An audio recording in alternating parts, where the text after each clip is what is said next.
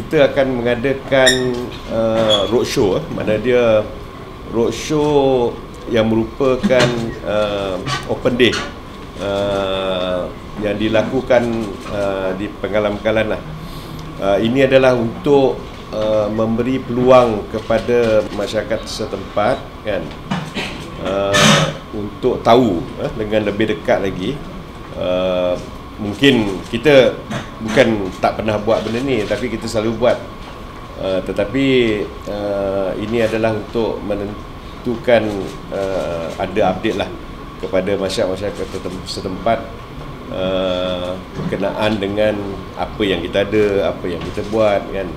Dan uh, apa yang kita dah belanja uh, wang rakyat ni apa yang kita buat eh kita nak mereka faham eh? Uh, supaya uh, mereka sentiasa bersama dengan kita dan memahami eh akan tugas-tugas kita. Itu yang pentingnya Uh, ini akan dilakukan oleh uh, penggalan-penggalan supaya tempat-tempat di mana penggalan itu ada kita boleh uh, membawa uh, masyarakat setempat eh, dengan lebih dekat lagi.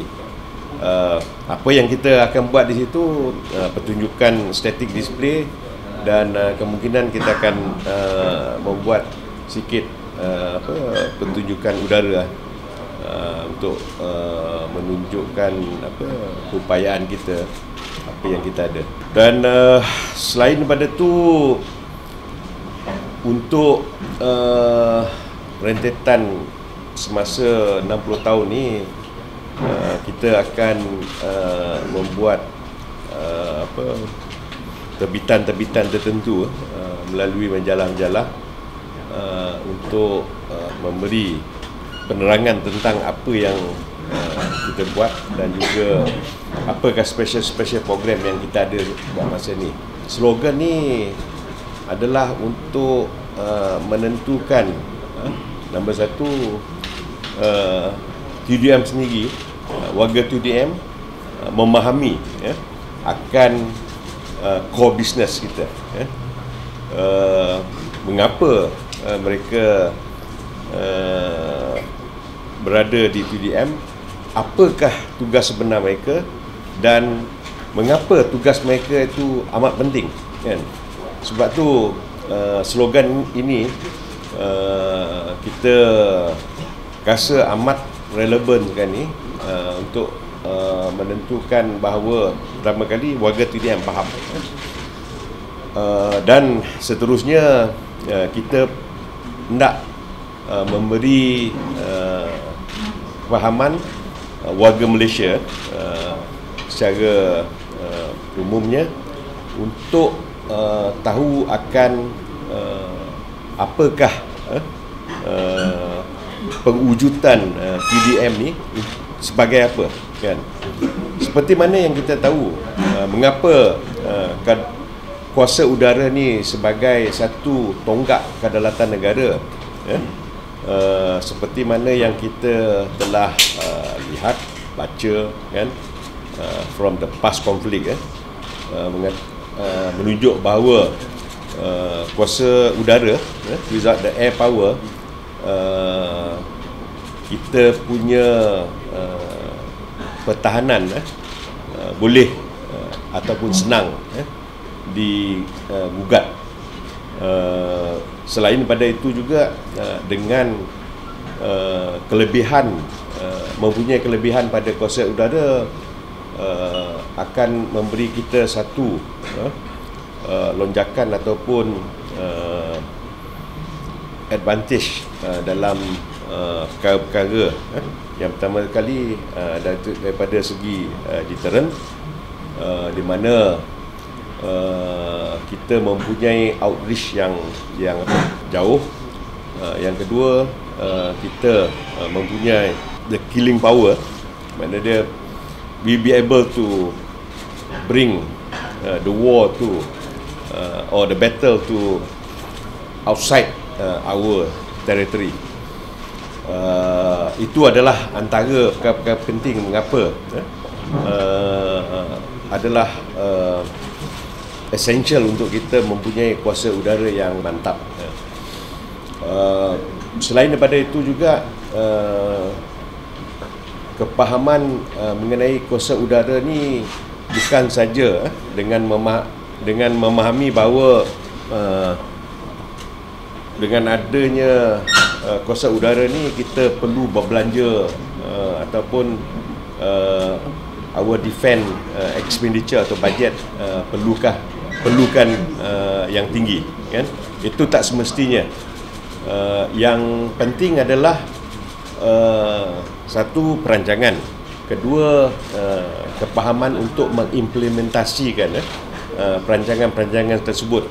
Kedua adalah uh, macam mana kita uh, nak mempunyai uh, sustainability ya, dari segi maintenance dan juga uh, training yang uh, efektif kan.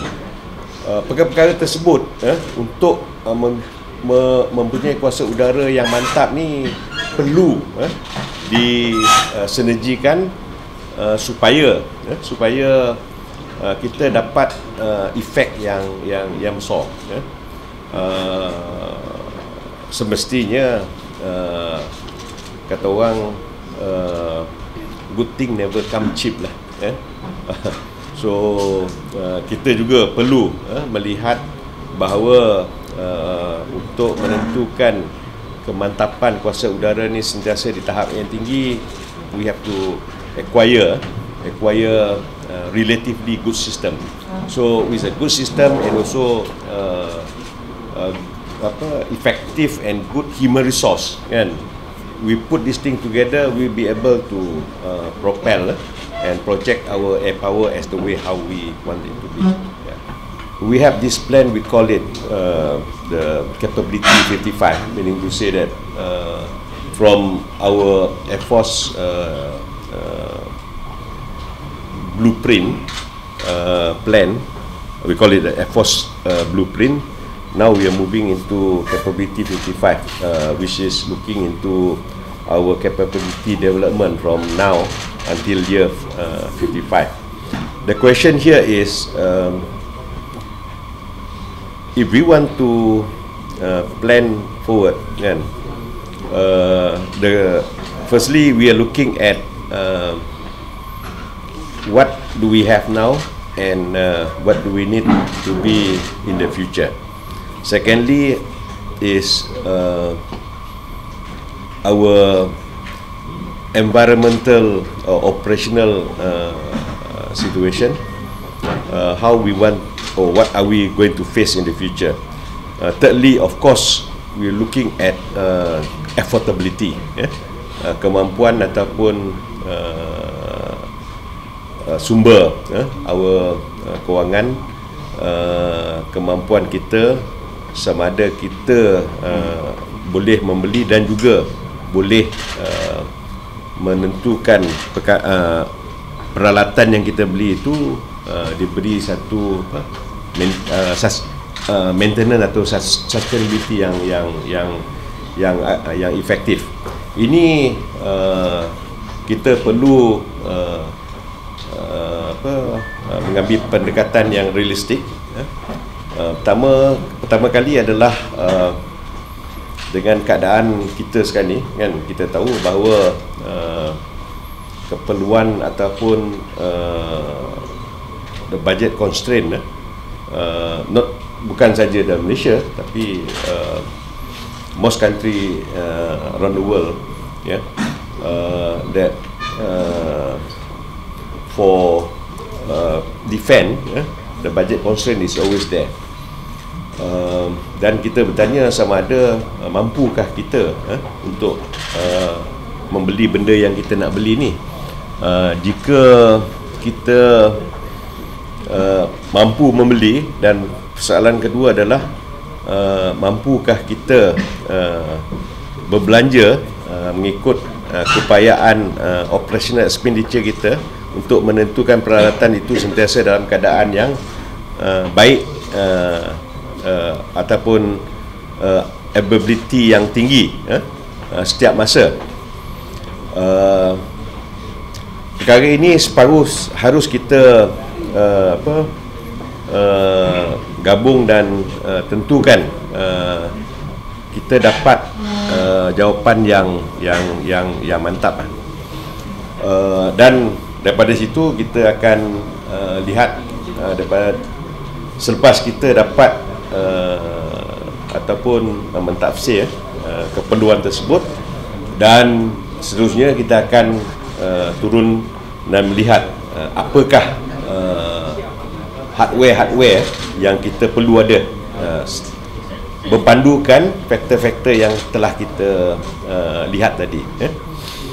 uh, perkara seperti ini uh, elok kita bincangkan eh. Pertama kali adalah tengok aset yang kita ada sekarang ni okay. aset yang kita ada sekarang ni uh, rata-rata adalah telah menjangkau umur yang yang apa yang uh, telah pun uh, menjangkau umur lebih daripada 20, 20 tahun uh, dan keperluan untuk kita uh, memberi uh, kata orang uh, upgrade eh, membuat upgrade kepada uh, aset-aset tersebut adalah uh, amat tinggi. Uh, jika tidak ia akan it will cost us a lot uh, to maintain uh, the old asset ni. Uh, jadi uh, isu obsolescence ni perlu kita tangani. Mana dia apabila menjam, menjangkau umur 20 tahun ni kita perlu uh, melakukan uh, apa uh, peningkat uh, meningkat taraf eh? uh, semada menukar benda yang dah lama atau yang obsolescent supaya pesawat tersebut uh, sentiasa boleh uh, di apa dioperatekan uh, pada masa yang sama uh, ia akan dapat uh, menurunkan uh, apa uh, harga-harga uh, sel- selenggaraan. Dan yang kedua adalah uh, melihat daripada sekarang ni hingga ke uh, 10 tahun 20 tahun akan depan kan aset yang kita ada ni perlu diberhentikan uh, pengoperasiannya dan kita akan lihat sebab kalau nak membeli satu aset yang baru ni 5 ke 10 tahun lepas uh, perancangan harus dilakukan sekarang ni ya? uh, supaya apabila uh, keputusan untuk membeli ini dapat uh, dibuat hari ini aset tersebut kemungkinan boleh cuma boleh di, beroperasi dalam masa 5 tahun ataupun 10 tahun uh, jadi we are looking forward at uh, what do we need in the future okay. kita satu adalah untuk menggantikan pesawat aset yang lama ni yang pada masa tersebut dia akan uh, di di di apa kata orang uh, dibentikan operasinya dan dia aset yang kita plan sekarang ni akan menjadi aset baru uh, pada masa tersebut dan uh, di masa tersebut juga kita akan melihat well you already putting yourself uh, 10 years ahead uh, at that time uh, what do we have? I mean what do what what are we facing in that 10 years time? Uh, what is our capacity, what is our uh, financial uh, resources capability, whether we can maintain or not maintain eh, uh, the asset that we have.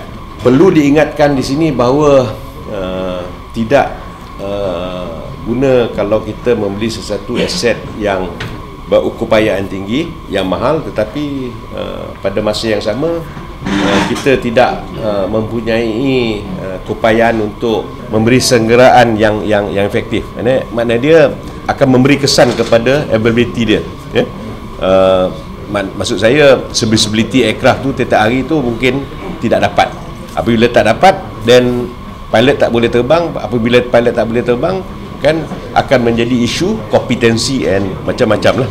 Uh, so uh, in order not to get into that kind of situation that's why uh, we have to be uh, careful with our planning today uh, and uh, by putting ourselves and asking ourselves uh, the right question so that by the time kita akan dapat pesawat ataupun aset-aset tersebut kita boleh operate kita boleh maintain dan kita boleh memberi satu readiness state yang tinggi ya, maknanya dia aset ada pilot ada dan pilot yang ada pun cukup uh, training. Okay.